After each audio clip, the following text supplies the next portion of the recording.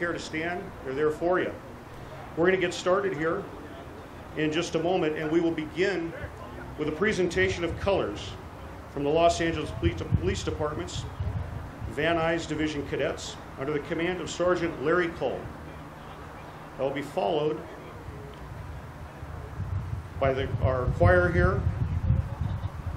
And after that, we will have the posting of colors and an invocation.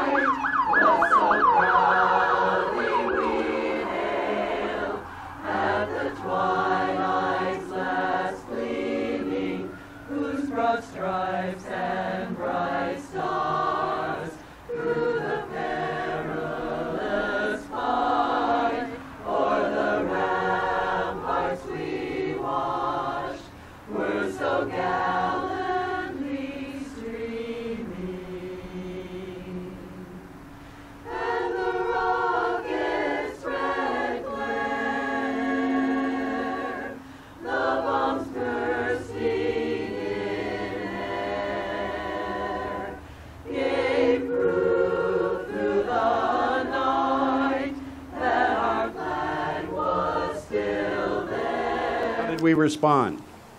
As a nation, we became united more than ever. we all put our selfish needs aside and looked to those who we could help. We sent money, supplies, manpower, and people who hadn't prayed in many years stopped and prayed for those who were suffering that day. We all focused on what was important and we cherished those who we had taken for granted. Now, 12 years later, where are we at? Are we as united as we were 12 years ago? Are we still helping those in need? Are we praying for those who are suffering? Do we take our loved ones for granted? Do we call our parents, hug our children, and tell our spouses daily that we love them. Today, I'd like to challenge each of us to remember how you felt that day, 9 11 2001. How your hearts went out and you wanted to give support and help your fellow man. Today, I challenge you one hour, one hour a month to serve your community, your fellow man. And I guarantee in that one hour, you will be blessed 10 times more than those you bless. You can go to your local hospitals, churches, call your council members and say, I want to help. And they'll find something for you to do. Let's not wait for another tragedy to unite and be who God created us to be. Please bow with me and pray. Heavenly Father, we just thank you for this amazing day for those that have gathered to remember those that we lost. We pray that you are with their families and just help them as they continue in life. We also pray, Lord, for the 19 members of the Granite Mountain Hotshot crew that lost their lives recently. We also pray for our fallen brothers here in the LAFD Mario Martinez, Jeffrey Johnson, and Matthew McKnight. We pray that you be with all their families and friends and just give them peace and comfort. We pray for our leaders as the our new mayor, the city council as they make decisions daily on our great city. We pray for all our first responders, Lord, that they answer the 911 calls bravely and help those in need. Father, we just thank you for your blessings and pray that you'll be with us here today. In your name we pray. Amen.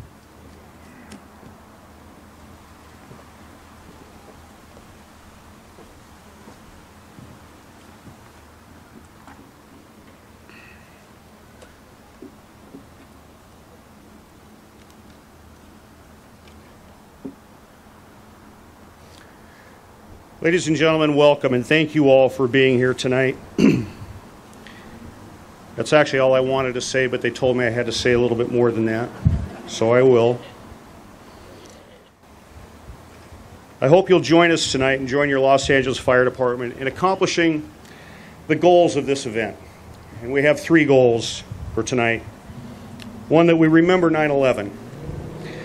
Two, that we celebrate our victory over those who have sought to harm us.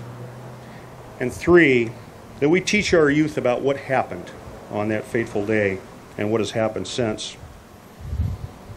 It was, it was suggested I tell a little bit of my 9 11 story, so bear with me.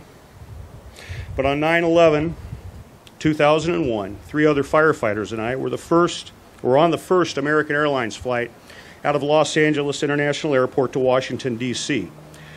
We were on a work related trip to Virginia. We boarded our plane as usual, and I called home as the plane began to back away from the boarding ramp, as I always do. When I called home, I was being told by my family that two planes had flown in to the World Trade Center. I was then told that the towers were falling as we were speaking on the phone. And at the same time, our plane was backing away from the boarding gate. Our plane soon stopped and pulled back into the gate. The captain of the plane told us that there had been a problem with air traffic control and we could remain in our seats. Hopefully, we would be departing soon. A few minutes later, we were told that we should depart the plane and we would be notified when our flight would be rescheduled. The airline thought that the delay might be an hour or two. We still weren't sure what was going on. I'll never forget one of the flight attendants was very distraught, had to be escorted off the plane by other flight attendants. I surmise now that she had been told one of her loved ones had been aboard one of the hijacked planes. Myself and the other firefighters found a TV in a closed airport bar and we turned it on. Now leave it to firefighters to find a closed airport bar at 7 o'clock in the morning, but we did. And 24 hours later, all four of us, as members of the Los Angeles Fire Department's Urban Search and Rescue Team, were on the ground at Ground Zero in New York searching for survivors. We stayed there for nearly two weeks, searching day and night, helping the FDNY and the NYPD in any way we could. Others from the LAFD joined us back there in New York, helping out at New York fire stations, assisting with search and rescue, and helping those who are grieving. I remember that two days later, on September 13th, I asked one of my friends on the USAR team how he was doing, how he was holding up. He said he was okay, and he added, That's one heck of a way to spend my birthday, though. I agreed, it was one heck of a way to spend his birthday. My birthday is also September 13th. The firefighter I was speaking with was someone I grew up with. We'd known each other for nearly 23 years, long before the fire department, long before that career had entered our minds. We'd been friends the whole time. We played football together, ran track, attended classes. We never knew we shared the same birthday until that, September 13th. That's my story of 9 11, or part of it anyway. More importantly, I remember some other things, and I hope you do too. I remember that regardless of politics, religion, race, or any other labels, we all came together as Americans. Amidst our tragedy, we found power in our diversity. Our spirits were strengthened, our resolve was steeled. We were all Americans, and we still are today.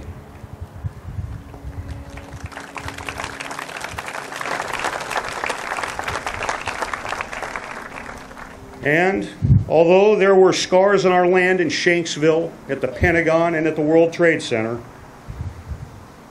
our national fabric was made whole. That's how I remember 9 11. I want to ask each and every one of you how do you remember 9 11? What is your story? From that fateful day to today, we have had to remain vigilant. We've had some heart wrenching losses. And while we are not perfect, we have achieved many victories. Celebrate our victories.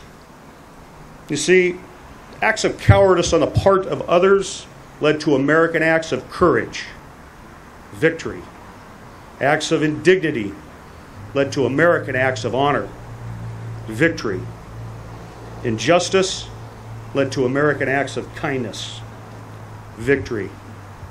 By turning 9 11 into a celebration, we do achieve victory. That's why I celebrate 9 11. I ask all of you to join us in that celebration. And what about the future? Personally, I was recently prioritizing some things that I want to accomplish in my life, and it got me thinking that those children born this year will reach retirement age in about 2078. Think about that for a moment. What are we going to teach those children about what happened on 9 11? My hope is that we teach them that American strength truly comes from our diversity. That while people flee some countries, America is still a land that people flock to. And I truly hope that you teach them, each of you teaches them, your 9 11 story. And we've come here tonight to memorialize those who died on 9 11 and in the subsequent war, and honor those who have served at home and abroad since that date. And as Abraham Lincoln said in the greatest of all speeches, it is altogether fitting and proper that we should do this.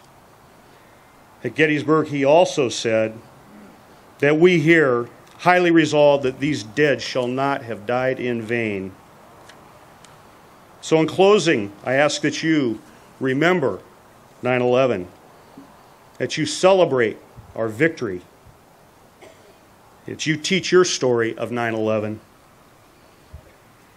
to carry on the legacy. Ladies and gentlemen, thank you for joining our Los Angeles Fire Department Memorial.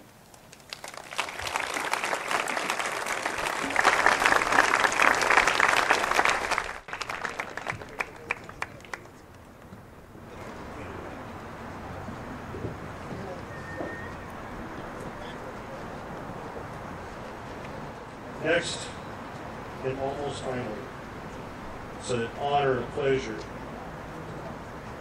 uh, to introduce someone who has done so much work for this 9/11 memorial event.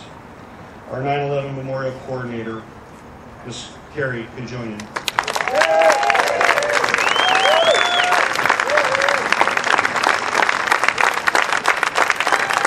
Thank you, Chief, thank you to all the firefighters who have worked for the last several weeks to help get this organized. Captain Berkery, Chief Reyes, Chief Butler, and it's my job to thank all of you for being here tonight, and to thank all of our benefactors whose name is on the wall, and all the benefactors who are on the name on the back of your program. We have several benefactors sitting here. Jim Achari can just go around the the block here and thank all of you for making this evening possible. As long as you come, we'll keep doing this and we'll never forget. We thank you for remembering that these are the men and women who their daily for us. Thank you.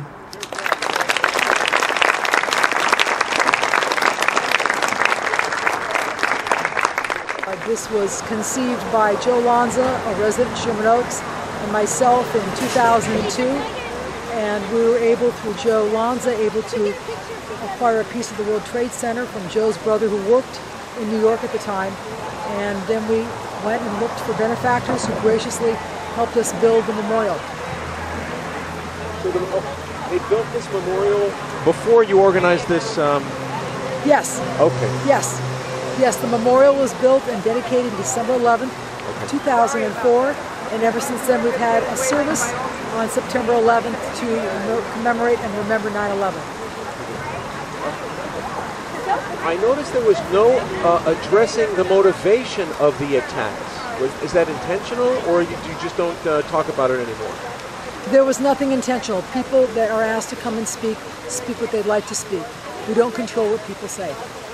So whatever people want to say, if they're elected officials, fire department or police, or myself, We're allowed to speak from what we want to say. Right. But d- d- did you uh, intentionally not have someone speak about the, the motivation of the attack? We don't intentionally or not intentionally have anyone speak about anything or not speak about anything. We ask people to leave politics at home and remember the day. Isn't, isn't politics a part of the of the ongoing war on terror? The world is all about politics. We try to leave our politics at the door. As Quincy Jones said when they made We Are the World, leave your ego at the door. We're working towards a cause. So here we of course remember what happened. And we always remember those that lost their lives. And we do our best to honor those that have lost their lives and those who risk their lives daily for you and for me.